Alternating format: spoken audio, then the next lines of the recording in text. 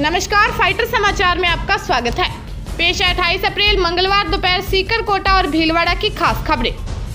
Corona virus के प्रकोप के बीच जारी लॉकडाउन के बीच एक 80 वर्षीय बुज़ुर्ग चूरू के रतनगढ़ कस्बे से पैदल चलकर सीकर के पटोदा गाँव में पहुँच गया।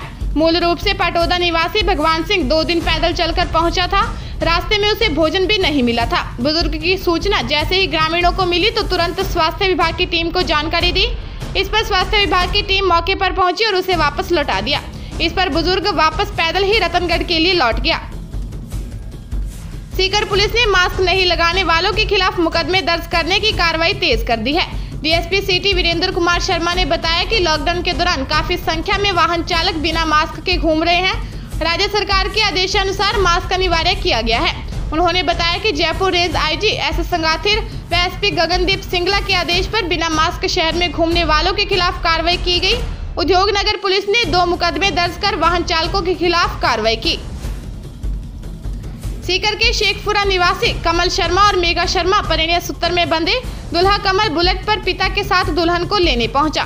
वर, वरमाला के समय दुल्हा दुल्हन दोनों ने मास्क लगाकर ही एक दूसरे को माला पहनाई। कन्यादान में दुल्हन के पिता ने मास्क और सैनिटाइजर भेंट किए। शादी में केवल पाँच लोग ही शामिल हुए। लॉकडाउन के चलते रात को विदाई के दौरान दुल्हा कमल दुल्हन मेगा को बाइक पर बैठाकर ही रवाना हुआ। कोटा में कोरोना संक्रमण के बीच एक बेटा करीब दो किलोमीटर तक अपने बीमार पिता को ठेले पर रखकर दौड़ा।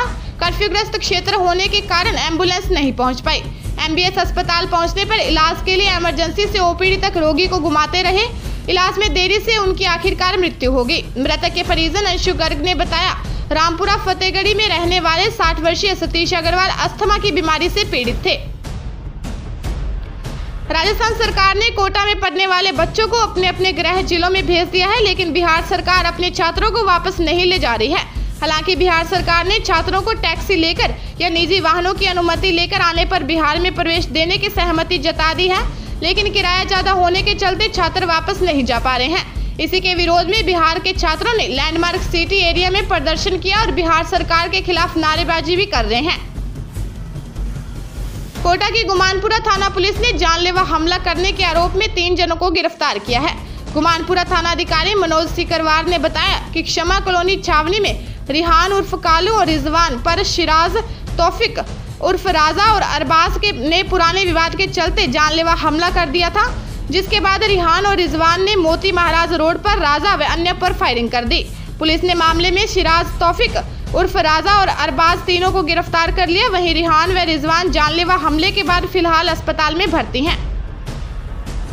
भीलवाड़ा के बिजोलिया में मंडोल बाँध के पास नालवा की पुलिया के पास छह मूर्तियाँ पड़ी दिखी। इनमें चार प्रतिमाएँ देवियों व दो जैन तीर्थकरों की थी। जल्दी सुबह टहलने निकले तीनों युवाओं ने इन्हें देखकर प्रशासन को सूचना दी। पुलिस व प्रशासन ने प्रतिमाओं को अपने कब्जे में कर लिया है।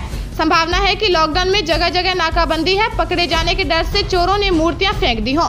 हालाँकि आसपास के थानों पर लॉकडाउन अवधि में प्रतिमाएँ चोरी होने की भीलवाड़ा के कोटड़ी के डोकलिया में सुने मकान से चोरों ने नकदी व गहने चुरा लिए।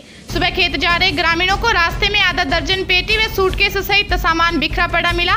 ग्रामीणों ने वहाँ पड़े कागजात देखे तो कस्बा निवासी सुशीला पत्नी घनश्याम तिवारी के नाम के थे। सुशीला देवी ने बताया कि जिला अस्पताल में बेटी से मिलने गई थी, पर चोरों ने सूटकेस से एक किलो चांदी की कनकती आधा तोला सोने के टॉप्स, चांदी के छह कड़े पाइजेब की एक जोड़ी, दो अंगूठिया में बेटी के प्रसव के लिए रखे दस हज़ार रूपए चुरा लिए। भीलवाड़ा के पंडेर में लॉकडाउन के दौरान अवैध रूप से हथकट शराब ले जाते एक युवक को पुलिस ने गिरफ़्तार किया है। पुलिस गश्त के दौरान रोपा रोड पर युवक को पकड़कर पाँच लीटर हथकड़ शराब जब्त की है। थाना अधिकारी नरेंद्र सिंह ने बताया कि कंजर कॉलोनी निवासी 35 वर्षीय सुरेश कुमार कंजर, पुत्र चरण कंजर, एक जरीकेन में हथकड़ शराब लेकर जा रहा था। पुलिस की गाड़ी को देखकर भागने लगा। पुलिस ने पीछा कर उसे गिरफ़्तार कर लिया। ताज़ा तरीन खबरों के लिए फाइटर न्यूज़ को सब्सक्राइब करें और बेल आइकन को प्रेस करें ताकि नई न्यूज़ अपडेट होते ही आपके फ़ोन की घंटी बज जाए। Once again